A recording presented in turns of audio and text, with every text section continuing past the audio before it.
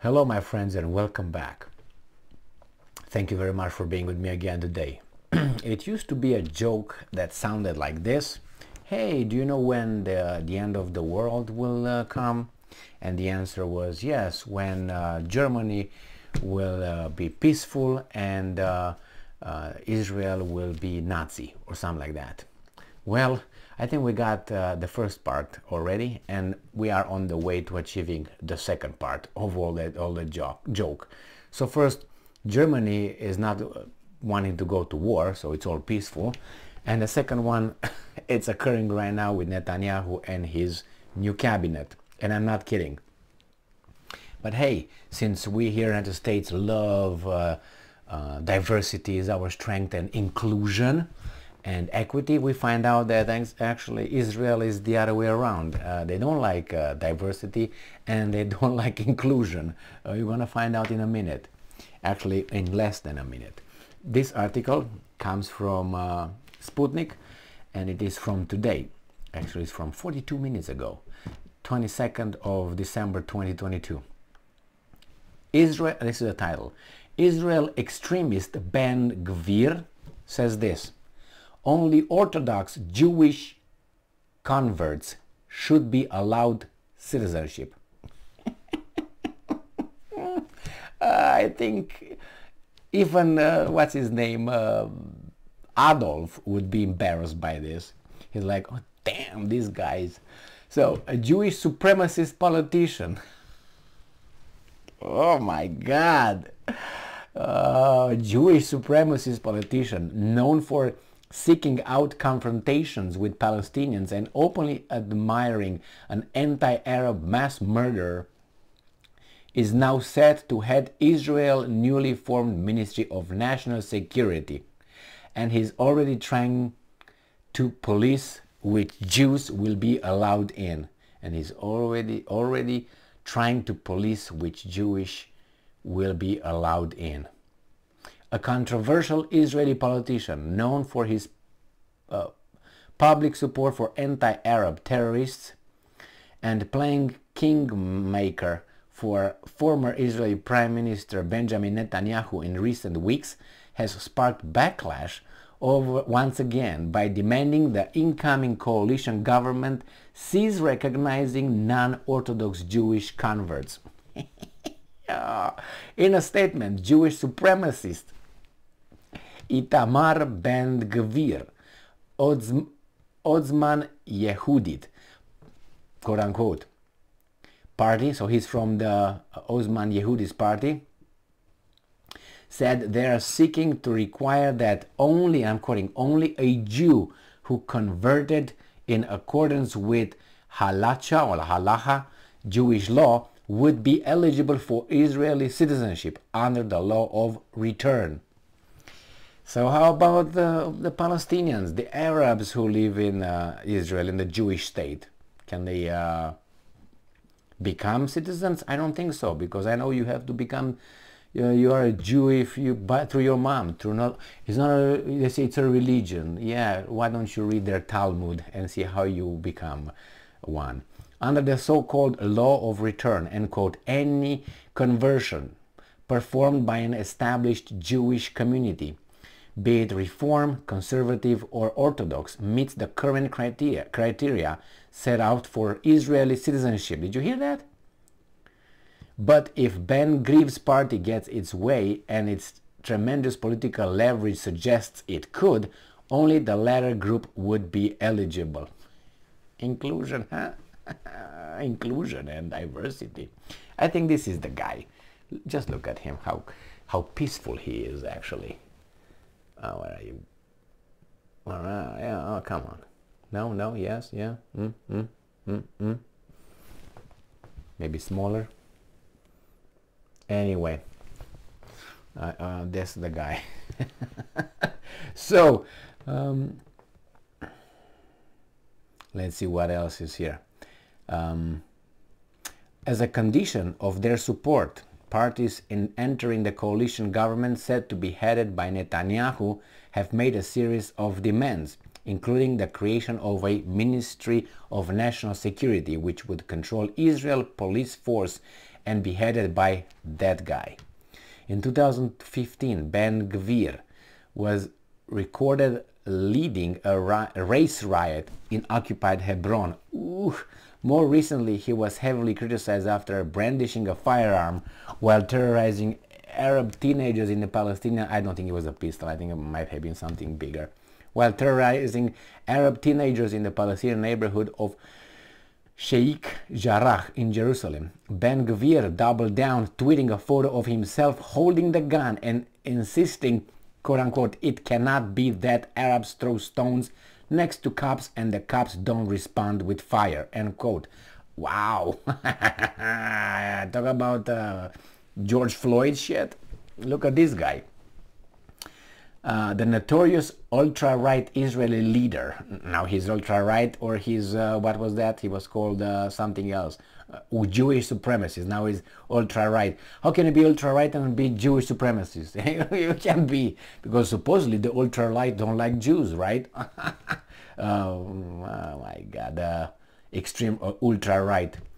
Israeli leader rose to prominence after speaking years as a youth leader within Israel Kahanist movement, named after Rabbi Meir Kahane, a notorious figure described as the founding father of Israeli fascism. Ooh, we got it.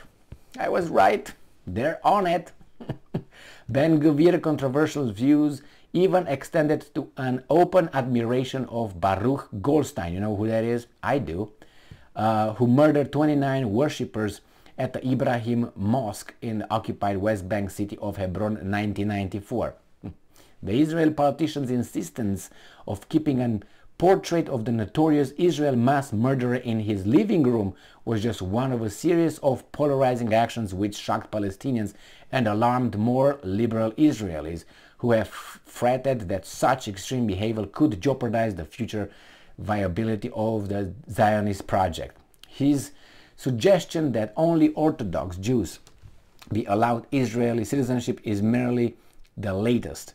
As, as Israeli Diaspora Affairs Ministry Nachman Shai pointed out Sunday, I'm quoting, this demand, if granted, means a clear and sharp rift between us and the majority of the Jewish community in the United States of America. This is the largest Jewish community in the world after Israel. They have a great influence and are vital for Israel and for our ties with the USA. Wow, so the guy again, his name is, uh, he's a far right, ultra right Israeli, and the other one, uh, which I love the best, I think Jewish supremacist. That's how this guy was called. And his name is, I will try to pronounce as much as the best I can, Ben Gvir. G-V-I-R, if you mind uh, looking him up. I will. Ben, Ben Gvir. How are you, man? Israeli extremist. Israel's extre extremist, Jewish supremacist, and then, oh my God, uh, Jesus Christ. What else we got there? notorious ultra-right. And the last uh, uh, description was what? Something like, uh, I can't remember, but anyway. Uh, anyway, my friends, my friends, what do you think about this guy? Yeah, that's something about uh, um, being a supporter of uh, those guys, fascist, majority, pop, pop, pop, pop. what do you think, my friends? What do you think?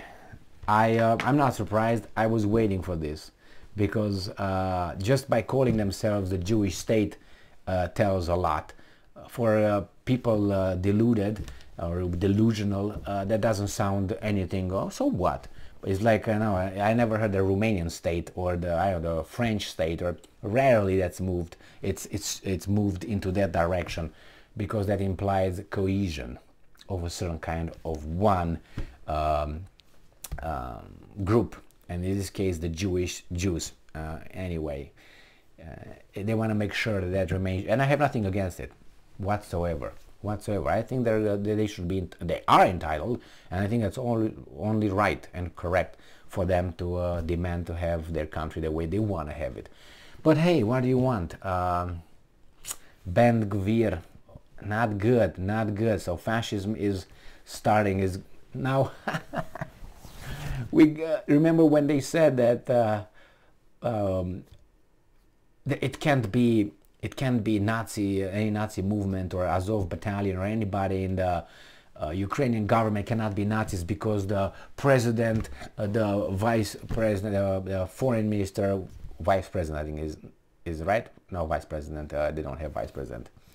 Uh, the prime minister, Shmyhal, oh, he's Jewish. And then I come with Reznikov, the defense minister, he's Jewish. Yermak, the uh, chief of staff of the presidential office, Jewish. Oh, it can't be, as, as I always said because they're Jewish, they can't have uh, Nazism in, in their midst. That's what they said.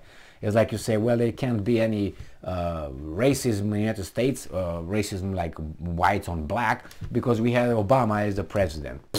okay, yeah, thank you very much. And now we have these guys here. They, they say Putin is a Nazi. These guys know the, the Ukrainians are Nazis. And we have these guys with this guy. None, none of the, none of Putin no Putin, no Zelensky, no Azov battalion, as far as I know, made statements. I mean, I know battalion, uh, Azov battalion did before, but not lately. Anybody made such? Oh, remember it was what's her name, uh, the Italian prime minister that uh, I just uh, fell out uh, with her. Um, the last stupid thing that she said, and I made a video on that. M Meloni, what's her name, Giorgia. Nah, -uh again, she's a far right. She's a, a supporter of what's his name, Mussolini and the fascist and all that. Nobody spoke like this guy here. And this guy is to be called. Anyway, man, I expected. What do you, I mean? I have so much to say, uh, but if you really want to find out what's going on, if you really want to find out what they really believe about themselves, I suggest you read the Talmud. But you can't reach the Talmud because you're not probably not going to find it in your language. But read the Talmud and you're going to have some enlightenment when you read the Talmud because that's the interpretation of the Torah, the law, you know, the, the, interpretation by their rab, rabbis and what they think about themselves, what they think about us. Yes, it's they and us, you know, the goyim, the, all that. And you're going to find out very revealing information how they really think of themselves and as a community as a different uh, you'll find it so anyway good luck with that it's very interesting but it's uh, it's it's a few volumes so good luck with that too I don't think you're gonna find a translation because it's uh, you're gonna find out how they refer to Jesus in that in the Talmud how they refer to uh, uh, Virgin Mary and to uh, what's his name um, Joseph it's it's it's and who was actually what's her name uh, Magdalena. They're gonna tell you. They're gonna tell you, and they're gonna tell you exactly where Jesus is right now. He's somewhere boiling in something. But anyway, I'll let you find that out. Anyway, we're right there. Thank you very much for being with me again today. Maybe uh, Netanyahu keeps this guy like a Cerberus, you know, like Hades, keeps the dog with a dog with the three heads keeps him over there, just uh, unleash him on the world if he wants. The same here. I think he keeps this guy as, you see that guy? Well, he's going to you up. So take it easy. I think that's what it is. But maybe not. Thank you very much for being, for being with me again today. Stay strong, stay smart, look for the truth, and be just. Long live the Jewish state.